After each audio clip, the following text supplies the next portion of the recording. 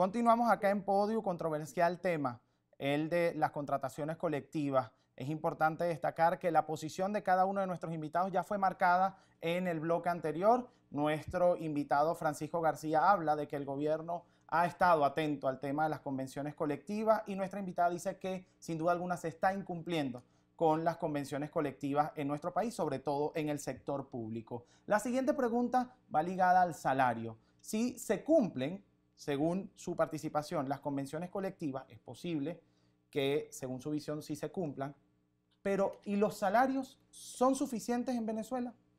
Sí, bueno, sin duda alguna que el gobierno nacional eh, hace aproximadamente un mes hizo un aumento de 6.000% del salario eh, y en ese momento el salario mínimo, bueno, tuvo por encima, muy por encima de lo que era la canasta alimentaria esencial de los trabajadores.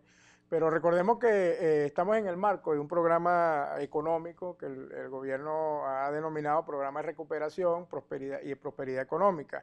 ¿Qué ha pasado? En ese programa hay varios actores. Por un lado estaba el gobierno, ¿verdad? por otro lado los trabajadores, pero el sector productivo nacional también adquirió un compromiso dentro de ese programa que era justamente mantener un esquema de precios que permitiera que los trabajadores pudieran eh, básicamente vivir, ¿no? que eso es eh, elemental inclusive hasta en, un sistema capitalista salvaje, que los trabajadores puedan tener acceso a los bienes y servicios elementales. Entonces, nosotros hemos visto y hemos asistido a una forma de incumplimiento por parte de algunos sectores. Hay que recordar que quien está en este momento eh, pagando todos los salarios en el país, tanto del sector privado como del sector público, es el gobierno nacional a través de la ONAPRE y a través de lo que es el, Ministerio de Planificación. Eh, todos los salarios en el país se, están pagando por estos tres meses buscando equilibrio dentro de este programa, ¿verdad? Pero lamentablemente hemos visto cómo el incumplimiento pues, de, de, los sectores privados, especialmente los sectores que producen los bienes y servicios elementales, y eso ha desequilibrado el inicio del programa su tiempo expirado. Muchísimas gracias por su participación. Doctora Nahual Naime, ¿qué tiene que decirnos acerca de los salarios en Venezuela? Yo creo que en este momento ya el salario mínimo no es suficiente. Y no es suficiente porque hay muchos elementos de la economía que tienen que ser atendidos. Yo estoy en desacuerdo en que se le pueda por lo menos asignar al sector privado una carga tan importante como haber dejado atrás ya el salario mínimo nacional, especialmente porque incluso con participación del Estado, muchos de los productos de grandes empresas del país son productos regulados, es decir, el sector privado no puede libremente y sin control del Estado hacer un aumento en los precios. Entonces, obviamente, están fallando otros aspectos de la economía que necesitan respaldar un aumento que sí debe ser suficiente. De hecho, la ley orgánica del trabajo promulga que el, trabajo, que el salario debe ser digno, debe ser suficiente. Por eso es que muchas de las reclamaciones van en pro a recibir bonificaciones que antes eran parte de las convenciones colectivas. Muchísimas gracias a la doctora Nahual Naime.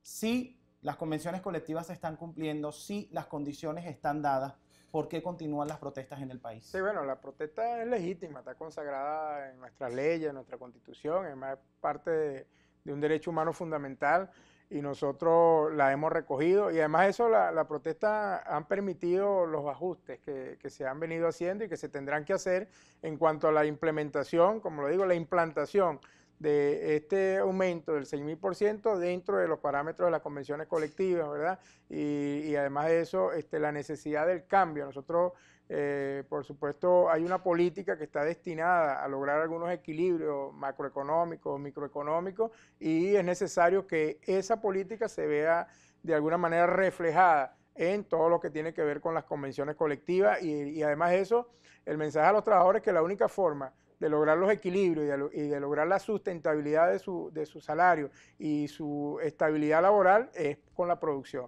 Es decir, es produciendo en los puestos de trabajo y es la única forma que nosotros podemos garantizar todos los beneficios que están consagrados. Porque si no, lo que vendrían sería despido por la imposibilidad de las empresas de mantener sus nóminas. Muchísimas gracias a Francisco García. Importante la posición de cada uno de ustedes respecto a los salarios y ahora la posición de Francisco García respecto a las protestas. Preguntarle a la doctora Nahual Naime acerca de las protestas es también importante porque son ustedes los abogados los que están atendiendo a los reclamos de estas personas hacia el Ejecutivo Nacional. ¿Por qué están protestando? ¿Por qué continúan las, las protestas si según el Ejecutivo se están cumpliendo las convenciones colectivas? Una de las cosas más importantes que hay, Halim, y necesarias, es tener satisfecho al grupo de trabajadores, porque todos somos trabajadores. Por eso este derecho, el derecho laboral es un derecho social. Nada más importante que los trabajadores. Los trabajadores están protestando porque están insatisfechos. Por, ¿De dónde parte la, protesta inicial? De su salario. tú podrás ver que dentro de la protesta vas a conseguir a mucha gente que te diga, yo antes recibía una bonificación por profesionalización que ahora no estoy recibiendo porque me dicen que está incluida en mi tabla salarial. Yo antes recibía una por número de familiares que no estoy recibiendo en este momento porque forma parte del salario. Entonces, nuestra estructura siempre ha estado diseñada para buscar en las convenciones colectivas y en la ley orgánica del trabajo el bienestar del trabajador, tanto en el sector público como en el sector privado. En este momento, las protestas existen porque no están satisfechos con el salario y con las condiciones económicas. Continuamos acá en, Podium y hay una pregunta pues importantísima respecto al tema del salario porque el Ejecutivo anunció que el salario ahora estaba anclado al petro y el petro a, su vez está anclado al precio del barril de petróleo. Le pregunto entonces a Francisco García, ¿realmente está anclado al petro el salario de los venezolanos? Y esto quiere decir entonces que si el precio del barril del petróleo baja, ¿Baja el salario de los venezolanos?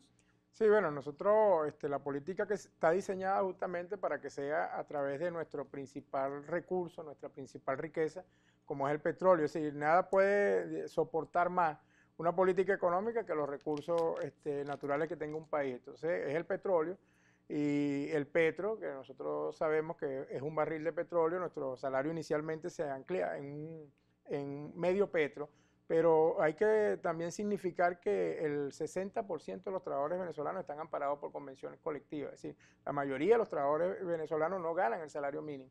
Es decir, ganan por encima del salario mínimo, puesto de que están amparados por convenciones colectivas. Entonces, en este momento, como decíamos, estamos, estamos, se está diseñando. Y además de eso, yo creo que más que una protesta, es importante que los trabajadores eh, generen debate en mesa de trabajo, como en algunos sectores importantes se viene haciendo, para con este instrumento novedoso, una política novedosa del gobierno, como es el petro, bueno, puedan también generarse beneficios e-, económicos adicionales, como es la póliza de HCM que se podría este, expresar en esa, en esa moneda, como es el petro, y además, además de eso, bueno, una política de ahorro como está diseñada en la ley del ahorro de la faja del Orinoco, el FACFA, que es una ley que ya existe y que los trabajadores pudiesen ahorrar, pudiesen tener algún tipo de ahorro en, en todo lo que tiene que ver con el petróleo y nuestro recurso natural.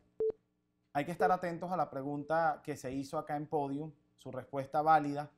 Yo dije, el Ejecutivo ha dicho que el precio, de, que el salario de los venezolanos está anclado al petro. Doctora Nahual Naime, realmente está anclado al petro el salario de los venezolanos? Creo que inicialmente la intención del Ejecutivo fue anclarlo al petro, pero cuando emitió la Gaceta Oficial de aumento de salario, hay dos aspectos que debe subrayar en ellos. Uno, que no hay anclaje al petro, nada dice sobre el anclaje al petro. De modo que lo que tenemos sobre el anclaje al petro es un dicho del Ejecutivo. Y otro aspecto muy importante, pero que va hacia un aspecto de hecho, es el anuncio del subsidio. Pero el, decreto del aumento de salario tampoco contempla ningún aspecto regulador de lo que se ha llamado subsidio. Entonces, desde mi perspectiva, no está precisamente anclado al petro y creo que con, con, su pregunta hubo una respuesta obvia. Va, muchos trabajadores ganan salario mínimo. Si baja el, barril de petróleo no baja el salario del trabajador. Bueno, muchísimas gracias. Arroba Podium Piso es nuestra cuenta en Instagram y Twitter. Y pueden hacernos llegar sus dudas, sugerencias y comentarios a través del numeral Podium GB. Esto es Podium y ya volvemos con más.